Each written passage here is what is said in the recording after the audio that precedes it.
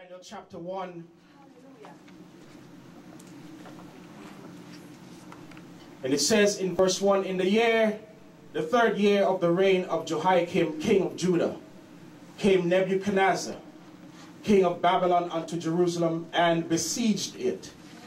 The Lord gave Jehoiakim, king of Judah, into his hand with part of the vessels of the house of God, which he carried into the land of Shinar to the house of his God, and he brought the vessels into the treasure house of his God. And the king spake unto Ashpenaz, the master of his eunuchs, that he should bring certain of the children of Israel and of the king's seed and of the princes, children in whom was no blemish. Somebody say, There is no blemish, is no blemish. in my life. Come on, prophesy but well favored and skillful in all wisdom and cunning in knowledge and understanding science, and such as had ability in them to stand in the king's palace, and whom they might teach the learning and the tongue of the Chaldeans. Verse 5 says, And the king appointed them a daily provision of the king's meat, and of the wine which he drank, so nourishing them three years, that at the end thereof they might stand before the king. Now among these were of the children of Judah Daniel, Hananiah, Mishael, and Azariah, unto whom the princes of the eunuchs gave names. For he gave unto Daniel the name of Belteshazzar, and to Hananiah of Shadrach, and to Mishael of Meshach, and to Azariah of Abednego. And verse 8 says, But Daniel purposed in his heart that he would not defile himself with the portion of the king's meat, nor with the wine which he drank. Therefore he requested of the prince of the eunuchs that he might not defile himself. Before you have your seat, tell your neighbor, I can handle this. I can handle this. Hallelujah. Hallelujah. I can handle this. God bless you. God bless you. You may have your seats. Amen.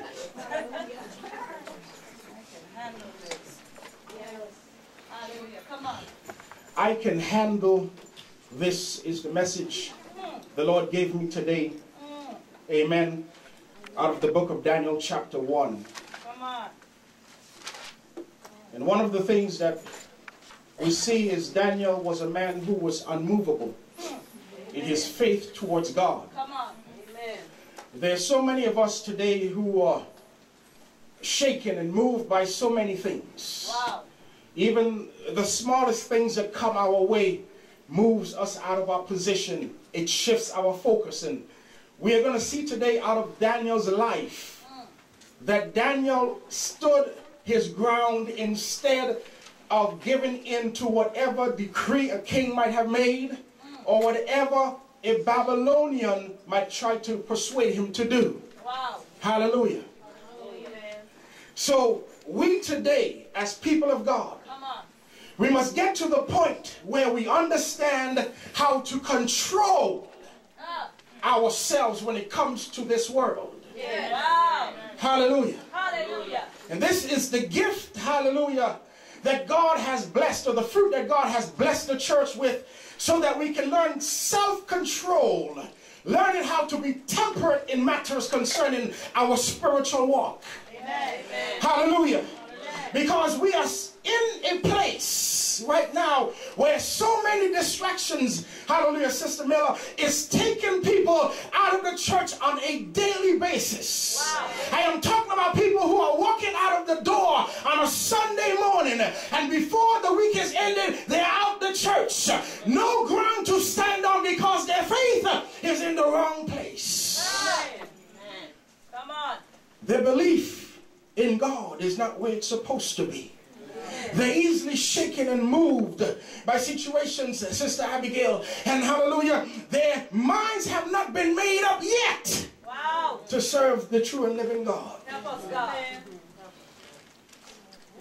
So the church has to do something. Come on. Who is the church? The church is a body of believers. The people of God who have accepted Jesus Christ into their life. And and they have realized that without him, they cannot make it. Amen. So even if they walked out of the doors today, hallelujah, and trials come their way, they will not forsake their God. They will not forsake, hallelujah, their belief and foundation in who Jesus Christ is in their life. Hallelujah. Free. Because I remember when I was sick, Hey. when the doctors could not do anything for me, he healed me. Hey. When I needed peace, hallelujah, and there was no one to turn to, I turned to him in prayer and he brought peace into my life. Because I know him to be the God that is exalted above all things. Hallelujah, put things to my life. Without him, I cannot make it. Without him, I cannot do anything. Without God in my life, I cannot change. So I need, hallelujah. God to always be there. Come on. My God, I need you. Hallelujah. Tell your neighbor I can handle. I can This. handle this. Come on, come on. Daniel understood mm. that he was in a place of bondage, mm. but not bondage to his spiritual walk. What? Mm. Even though they were in captivity in Babylon, the Babylonian captivity did not keep him captive from what he believed in. Amen.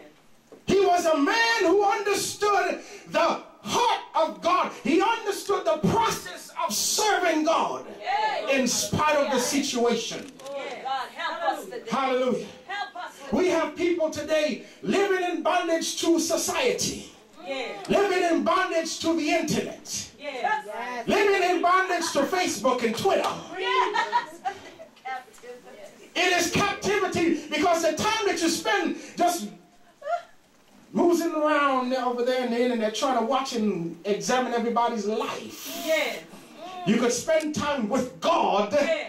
Hallelujah. Hallelujah. And something that's meaningful to your progress. Tell your neighbor that I, I need some progress in my life. I need some progress. Tell him ease off the Facebook. Ease off. Ease off the Twitter.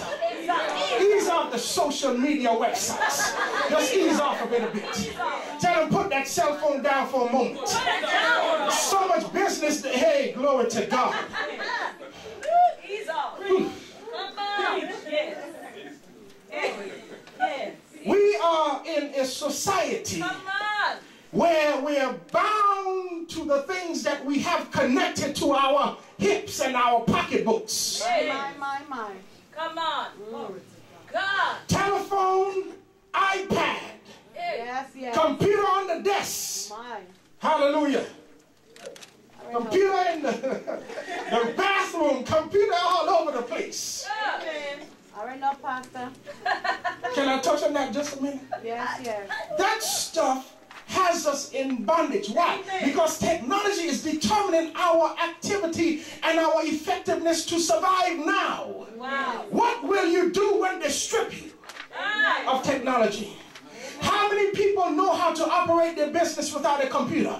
How to just open a book and write down your sales for that particular day. Or how you can progress in life with a book instead of knowing how to go on the internet. See, we have been what?